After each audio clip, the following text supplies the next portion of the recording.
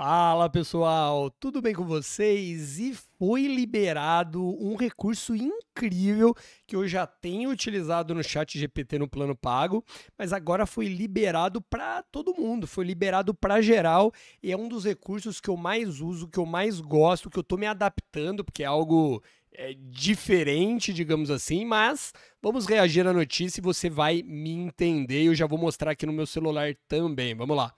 Chat GPT libera chat por voz para todos os usuários. Galera pode comemorar já, né? Porque, oh, ganho de graça, né? O recurso de voz do Chat GPT foi liberado para todos, incluindo os usuários gratuitos. A ferramenta permite interagir com o chatbot tal como um assistente virtual pelo Google Assistant e a Amazon, e a Amazon Alexa. Você já, já tem um Alexa que você fala Alexa, e, e, e fala, ou você fala Oi Google, né? E, e pede, né? Tipo, Alexa, me fale a temperatura, né? Me fale a previsão do tempo, me fale o que eu tenho na agenda e tudo mais, né? Só que agora isso vai para outro patamar, porque a Alexa e o Google assim são criancinhas, né? Do, mas no jardim de infância, né? Eu vou mostrar aqui, né? Ele vai dar alguns exemplos, né?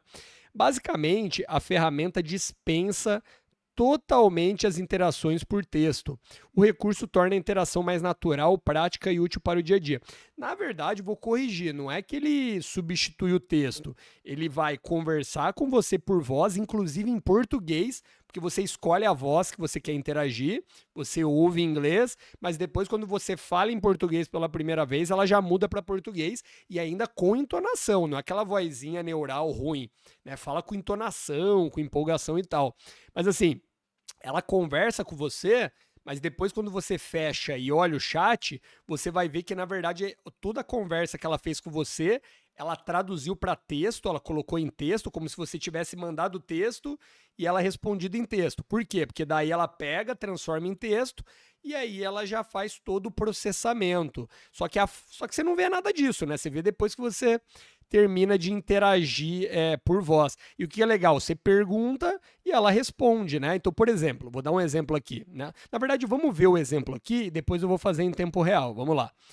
Em uma demonstração divulgada no X, que é o, o ex-Twitter, né, a OpenAI mostrou como o chatbot responde ao ser questionada sobre quantas pizzas pedir para cerca de 800 pessoas. Olha que legal. A resposta ponderou o tamanho de cada fatia e a quantidade de pedaços por convidado e concluiu que seriam necessárias 195 pizzas. Olha que legal. Bem, basicamente, olha só, eu abrindo aqui, você vai ver aqui, ó, que tem um ícone, ó, você pegar aqui, ó, desse lado aqui, ó, ó, você vai ver que tem um ícone de microfone, né, de fone de ouvido, né, aqueles fones que você coloca assim, né? E aí, quando você clica aqui, olha só, vamos fazer uma pergunta assim. Ó, vamos pegar aqui, ó. É, ó. Olá, tudo bem?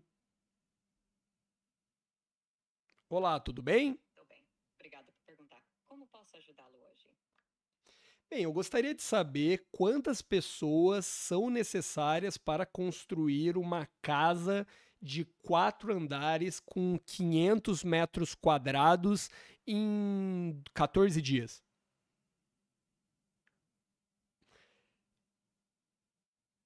Para construir uma casa de quatro andares e 500 metros quadrados em apenas 14 dias, seria necessário um número significativo de trabalhadores e uma coordenação excepcional. É, este é um prazo extremamente curto para um projeto desse tamanho. Vários fatores influenciam o número de trabalhadores necessários, incluindo 1. Um, eficiência da equipe. Com equipes altamente eficientes e experientes, é possível reduzir o número de trabalhadores necessários. 2. Horas trabalhadas por dia. Se as equipes trabalharem em turnos longos ou houver vários turnos por dia, o número de trabalhadores pode ser reduzido. 3. Tecnologia e equipamentos. O uso de tecnologia avançada e equipamentos de construção pode aumentar a eficiência e reduzir a necessidade de mão de obra. 4. Tipo de construção. Alguns métodos de construção são mais rápidos que outros. Por exemplo, estruturas pré-fabricadas podem ser montadas. Bem, eu vou parar aqui porque você viu o tamanho, né? Mas olha só que interessante, ó, foi o que eu falei, ó. Eu fiz por voz, mas olha só, ela respondeu aqui por texto, ó. Não sei se dá para ver aqui, ó. Ó. É fiquei, parece que fica branco aqui na, na tela do computador, mas dá para ver, ó. Dá para ver que tem um texto aqui, né? Então ele escreve todo o texto. Isso que é interessante, né? Então eu venho aqui agora, agora vou fazer uma pergunta bem fácil, vou fazer uma pergunta bem fácil. Olha só, e útil, né? Porque é para mostrar que ele também está conectado na internet. Olha só. Oi, pode me ajudar? Claro, estou aqui para ajudar. Poderia Poderia me passar a média das diárias de hotéis em Florianópolis em janeiro de 2024? Vamos ver.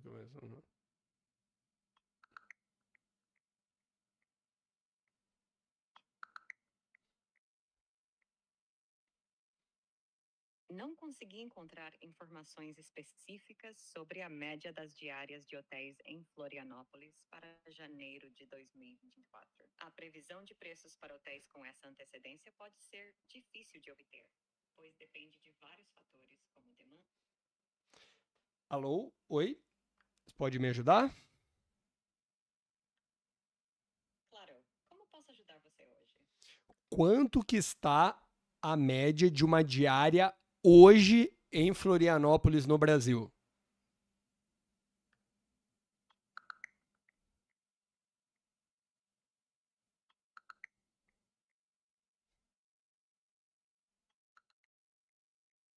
Essa é a última. Meu. Atualmente, os preços das diárias de hotéis em Florianópolis variam bastante. Aqui estão alguns exemplos. Hum. 1. Um, Rede Andrade Second Tour, 3 estrelas, 189 por noite. 2. Rede Andrade Flop, 4 estrelas, 121.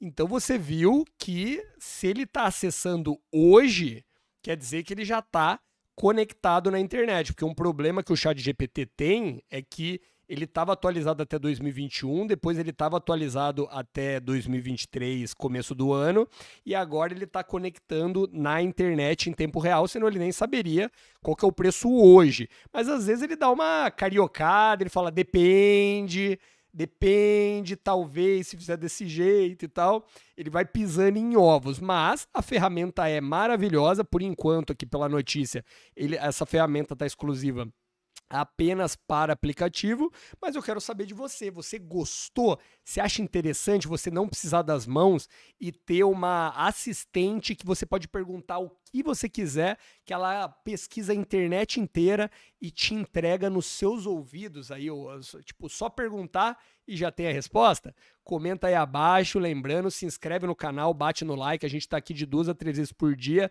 te servindo com as notícias mais quentes, mais atuais, tá bom? Te vejo no próximo vídeo. Até logo.